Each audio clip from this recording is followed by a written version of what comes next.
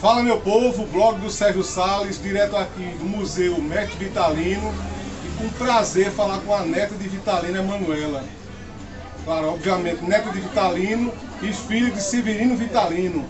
Emanuela, primeiro, qual o sentimento de ter esse povo de volta na casa depois dessa pandemia que tanto ficou fechado aqui nesse berço da cultura que é o Museu do Mestre Vitalino? Com muita satisfação, com muita alegria que recebemos os turistas e continuamos contando a história do mestre Vitalino e do meu pai também.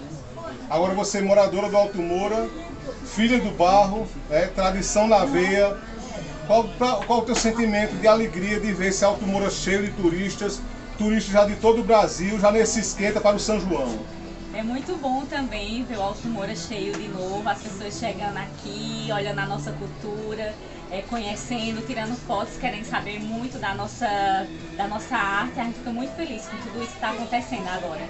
Agora, com a chegada desse artista, né, com a chegada desse povo que está vindo, que o, o, eu considero o turista o artista principal.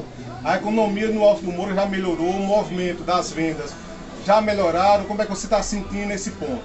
Olha, diante da pandemia que aconteceu, estamos melhorando, mas ainda não chegou no ponto alto, mas se Deus quiser chegaremos.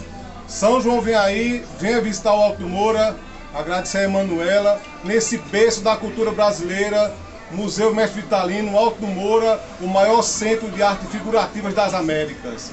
Blog do Sérgio Salles.